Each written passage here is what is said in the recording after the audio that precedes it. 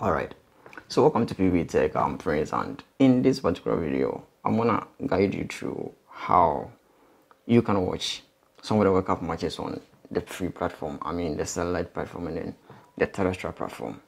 Those channels that will be telecasting it for you to get access to watch it for free. Alright, so we have the paid platform which is the DSTV, StarTime, GoTV if you can afford that.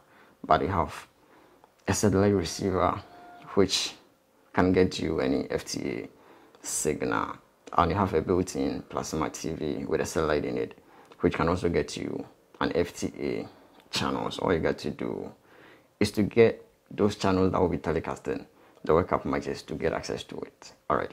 So when it comes to a built-in plasma TV, you have built-in plasma TV with those antenna ports. So whenever you have a built-in plasma TV with an antenna port, which means you can get access to the terrestrial channel that is available if only you are living in a location whereby you have accessibility to the terrestrial signal. Alright, so all you got to do is to get an antenna, mount an antenna, and then do the necessary connection onto your TV, get a stable signal scan to get those channels that will be telecasting the World Cup match. On the terrestrial option, we have some local channels that will be telecasting the match selected matches, not all the matches. So you have Metro TV, GTV, Sports Plus, and then GTV, you have TV3. But with the TV3, they have lock those matches whenever they are displaying it on their platform, their satellite platform. So on the satellite, they're going to show a different thing, but whenever a match is being played on on their terrestrial platform, you're going to get access to it. So in case you have a master decoder, a strong decoder, or any FTA decoder that you are using, and you don't have an antenna port, maybe you are using a decoder that have an antenna port, you have an antenna port, you can actually tap in onto the signal on the terrestrial platform to get access to some of the matches that they're going to telecast on this platform. I mean, whenever you find out that there is either RF inputs or antenna ANT inputs plus the LNB ports, which means that you have both.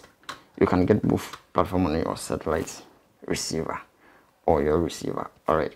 So in case you don't have this option on your decoder, you have only the satellite option. You have some channels on the satellite platform, numerous channels on the satellite platform that you're gonna get access to watch some of the matches. Alright. But on a multi-TV platform, there are no channel that is actually showing it unless you use a BISS key to unlock some of the channels. And with a BISS key i can give you a BISS key here which is illegal or to on my channel. So all you got to do is to change your current satellite position from the multi-tv angle to that of the my tv to get access to some of the channels that is available on the my tv platform. So with the my tv you can use a satellite dish ranging from 50 centimeters upwards. Any dish, any smaller dish that comes along with a set of decoders, you can actually use it to track. And they are on the northeast above the multi-TV signal, which is 26 degrees. Multi-TV is 28 on top of the multi-TV, which is 26 degrees on the northeast. You're going to use this frequency that will be on your screen, which is 10804 horizontal 30K. So I have some list of matches that they're going to telecast on these FTA channels and I'm going to give you those FTA channels, exact channels that they're going to telecast these matches. Alright, so these are the matches they have already showed some few ones. We have Qatar, Ecuador, we have Senegal, Netherlands, we have France, Australia, Belgium, Canada, Switzerland, Cameroon, and we have Portugal, Ghana, which is on the 24th. We have Portugal, we have Qatar, Senegal, 25th. We have England, USA, 25th. We have France, Denmark on 26th. We have Spain, Germany, 27th. Cameroon, Serbia on 28th. We have South, South Korea, Ghana, 28th. We have Ecuador, Senegal, 29th. We have Wales, England, 29th. We have Tunisia, France on the 30th. We have Japan and then Spain on the 1st of December, we have Ghana, Uruguay, 2nd December, and Cameroon, Brazil on the 2nd of December.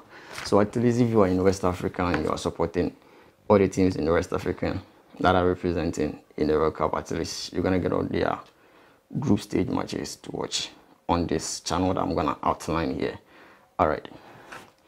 So after installing your My TV on your Multi TV or any satellite receiver that you are using, after installing my TV having a stable signal on it, all you got to do is to perform blind scan to get all the channels that are available around the TP. So we have the exact TP that you're going to use. The TP will be on your screen, which is 10804 horizontal 30K 30000.